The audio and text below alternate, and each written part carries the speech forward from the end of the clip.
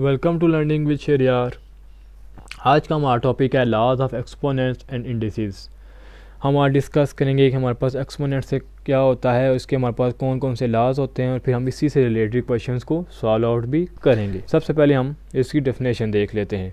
In the exponential notation A N read as the nth power we call a as the base and n as the exponent or the power to which the base is raised.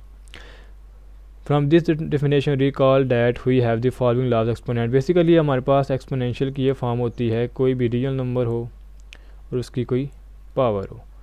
इसे हम कहते हैं base इसे हम कहते हैं exponent या फिर पावर जिस हमने इससे पहले वाली वीडियो जहाँ पे रेडिकल्स के लाज देखे थे, जिसकी डिस्क्रिप्शन में आपको लिंक दिया गया है। अब इसी एक्सपोनेंट के भी हम लाज को डिस्कस करेंगे। इसके अलावा हमें क्या बताते हैं?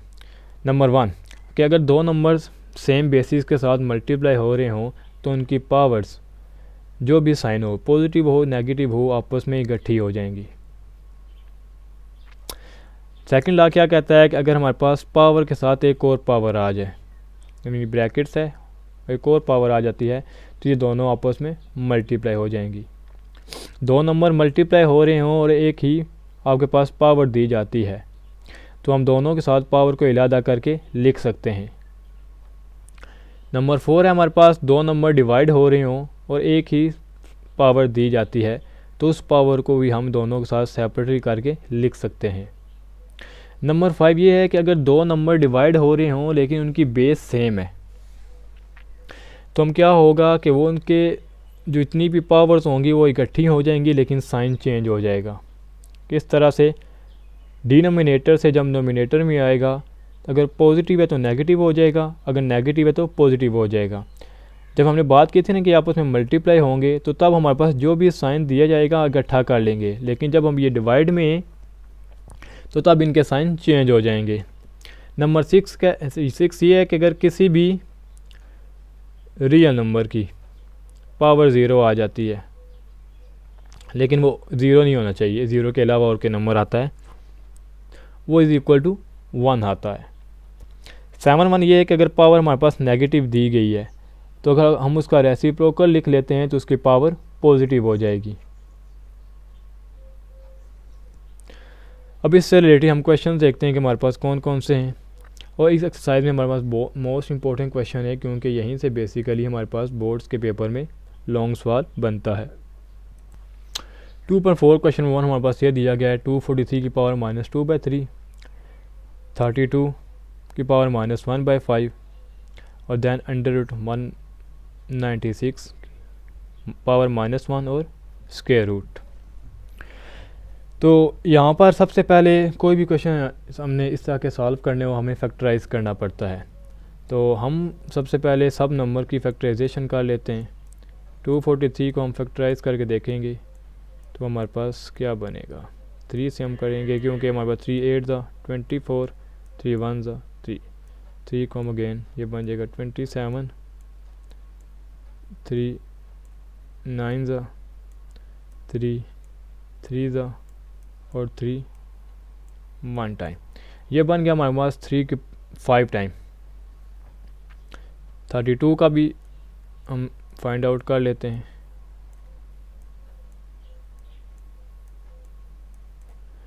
Two sixteen time two eight time two four time two two time और टू वन टाइम और देन हमारे पास 196 है। 196 ये पास होता है बेसिकली 14 का स्केयर लेकिन अभी फिर भी इसको फैक्टराइज करके देख लेते हैं। Two nine time two eight time two four time two nine time seven seven time seven one time हमने सब की फैक्टराइजेशन कर ली, लेकिन हमने अब यहाँ पे कौन, कितनी पावर में लिखना है। इसके बारे में इससे पहली बार वीडियो जहाँ पे हमने रेडिकल को डिस्कस किया था। वहाँ पर भी हमने बात की थी कि जहाँ पे हमारे पास जितना इंडेक्स दिया जाएगा, जितना भी हमारे पास यहाँ पे इंडेक्स दिया जाता है, हम उसको देखते हुए इसकी पावर को लिखते हैं। अब देखें यहाँ पे 243 का जो इंडेक्स दिया गया है, वो थ्री दिया गया है। तो हम इसको लिख सकते हैं। थ्री की पावर थ्री मल्टीप्लाई थ्री का स्केयर ये बनेगा माइनस टू बाय थ्री इसकी पावर। थर्टी टू है। यहाँ पे इंडेक्स फाइव दिया गया है और यहाँ पे टू फाइव टाइम आ रहा है तो हम इसको लिख सकते हैं। टू की power five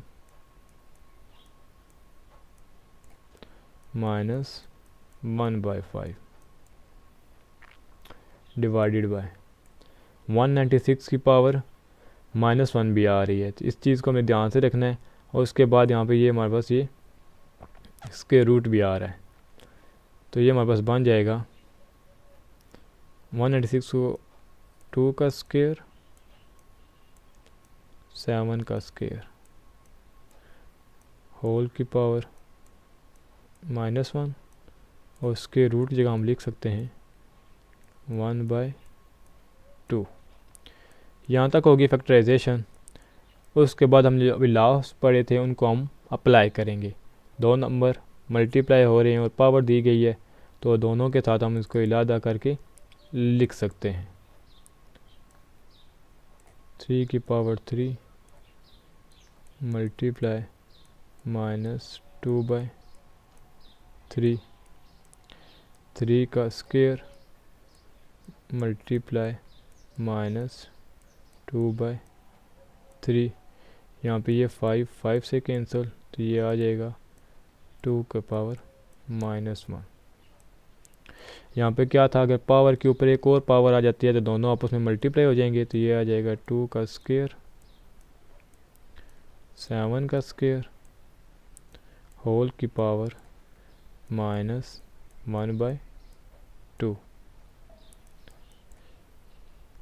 three three से कैंसिल तो ये बनेगा थ्री की पावर माइनस टू यहाँ पे कैंसिल आउट नहीं हो सकते, लेकिन टू टू से मल्टीप्लाई हो जाती है बनेगा थ्री की पावर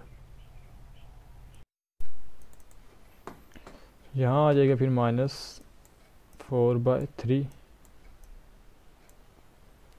again two की पावर नेगेटिव वन अब यहाँ पर देखें तो माइनस वन बाई टू है, दो नंबर आपस में मल्टीप्लाई हो रहे हैं और पावर दी गई है तो पावर दोनों के साथ इलादा करके हम लिख लेंगे तो ये बन जाएगा टू की power two multiply minus one by two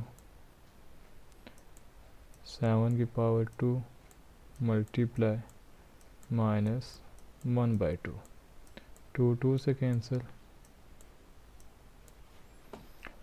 next time हम ये करेंगे देखें अगर मैंने बताया था कि अगर हमने पावर पॉजिटिव करनी होती है तो हम या, या तो नोमिनेटर से डिनोमिनेटर में ले जाते हैं या डिनोमिनेटर से नोमिनेटर में ले जाते हैं। तो यहाँ पे थ्री पावर टू है लेकिन साथ में नेगेटिव है। तो पॉजिटिव करने के लिए हम क्या करेंगे? इसको डिनोमिनेटर में ले जाएँगे। इस तरह ये थ्री की पावर माइनस माइनस थी तो अब ये प्लस फोर बाय थ्री तो इससे आगे हमारे पास है टू की पावर नेगेटिव वन ऊपर भी हमारे पास दिया गया है टू की पावर नेगेटिव वन सेवन की पावर नेगेटिव वन। नोमिनेटर और डिनोमिनेटर में नंबर सेम है तो ये आपस में कैंसिल हो जाएँगे। अब सेवन को पॉजिटिव करना तो हम नोमिनेटर में ले जाएँगे। तो ये बन जाएगा सेवन और थ्री का स्केयर नाइन होता है। और यहाँ पे लिखा गया थ्री की पावर फोर बाई थ्री तो हमें पता है, अगर हम लिखें one plus one by three ये इज़ इक्वल टू होता है फोर बाय थ्री हम एल्शियम ले लें इसका थ्री थ्री प्लस वन तो ये फोर बाई थ्री बन सकता है। तो अब हम फोर बाई थ्री लिखें या one plus one by three लिखें, इससे फ़र्क नहीं पड़ता। तो हम यहाँ लिख लेंगे थ्री की power one plus one by three power add हो रही है डैट मीन कि इनकी बेसिस सेम है। बेसिस सेम है तो हम इनको इलादा करके भी लिख सकते हैं।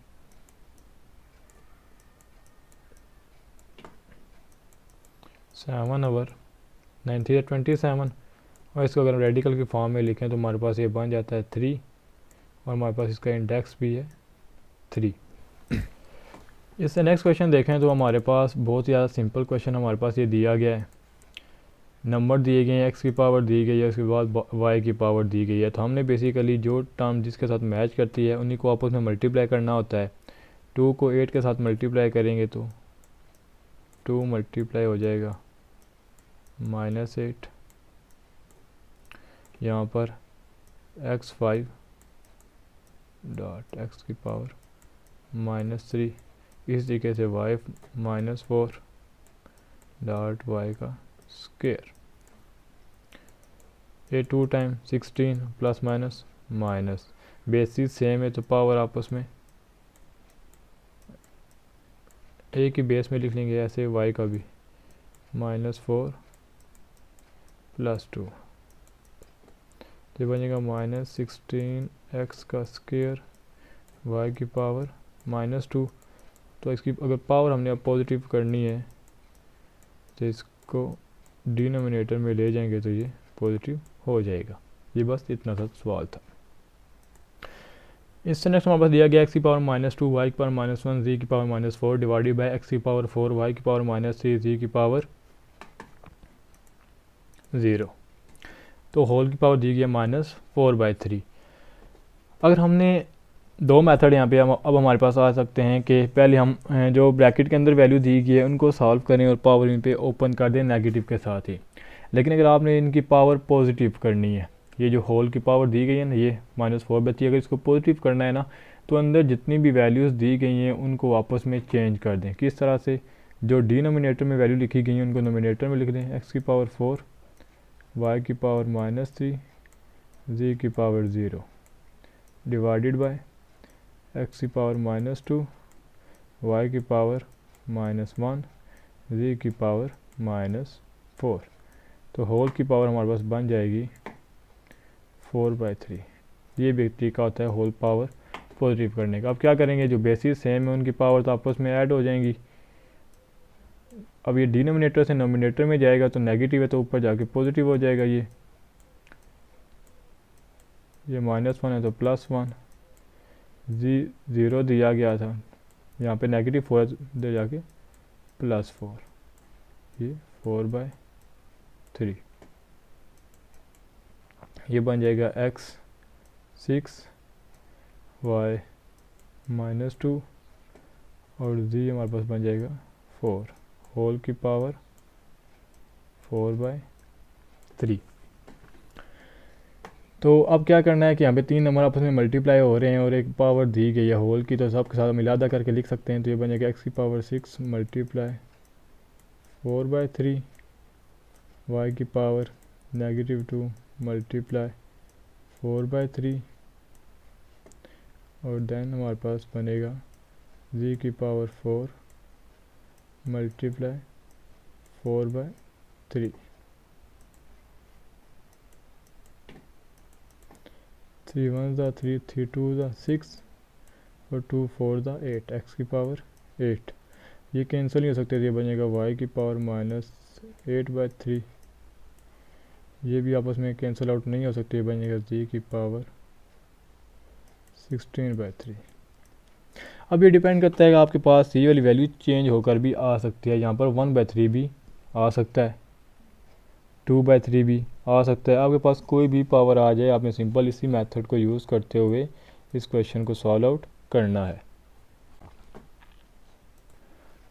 और इसके बाद हमारे पास इस तरह का क्वेश्चन दिया गया एटी वन की पावर एन थ्री की पावर फाइव माइनस थ्री की power four n minus one two forty three nine की पावर टू एन थ्री की पावर थ्री तो इसको सॉल्व आउट करने के लिए सबसे पहले हमारे पास जितनी भी यहाँ पे वैल्यूज़ दी गई हैं, सबको हमने क्या करना होता है फैक्टराइज करना होता है। तो इसकी factorisation eighty one two forty three हम क्वेश्चन नंबर वन में कर चुके हैं। तो यहाँ पे हम जस्ट डायरेक्ट इनके वैल्यूज़ को पुट कर देंगे। सबसे पहले एटी वन तो एटी वन हमारे पास होता है थ्री की पावर फोर होल की पावर दी गई है एन ये थ्री की पावर फाइव इसी तरीके से यहाँ पे हम ये करेंगे कि यहाँ पे फोर एन भी दिया गया नेगेटिव वन भी दिया गया तो दोनों को इलादा करके लिख लेते हैं। पे सेम रहेगी। और टू फोर्टी थ्री हमारे पास होता है थ्री की पावर फाइव अब नाइन है नाइन को हम लिख सकते हैं थ्री का स्केयर होल की पावर टू एन और ये हमारे पास थ्री की पावर थ्री ये बन जाएगा थ्री की पावर पावर के ऊपर पावर आ गया दोनों आपस में मल्टीप्लाई हो जाएगी फोर एन थ्री की पावर फाइव माइनस थ्री की पावर फोर एन ये बन जाएगा थ्री की पावर फाइव माइनस वन ये बन जाएगा थ्री की power four n dot three की पावर थ्री अब यहाँ पे हम थ्री की पावर फोर एन थ्री की पावर फाइव माइनस थ्री की पावर फोर एन थ्री की power four divided by three की पावर फोर एन थ्री की पावर थ्री अब हम यहाँ पे ये नहीं कर सकते कि इन दोनों को आपस में कैंसिल कर दें या इसके इसके साथ कैंसिल कर दें, क्योंकि यहाँ पे देखिए हमारे पास एक और ऑपरेशन है सब्ट्रैक्शन का जो यहाँ पे अप्लाई हो रहा है। तो इसको सॉल्व करने के इससे नेक्स्ट हमारे पास दो तरह के मेथड आते हैं। वो दोनों मेथड आपको बता देता हूँ। दोनों में से कोई भी एक फॉलो किया जा सकता है।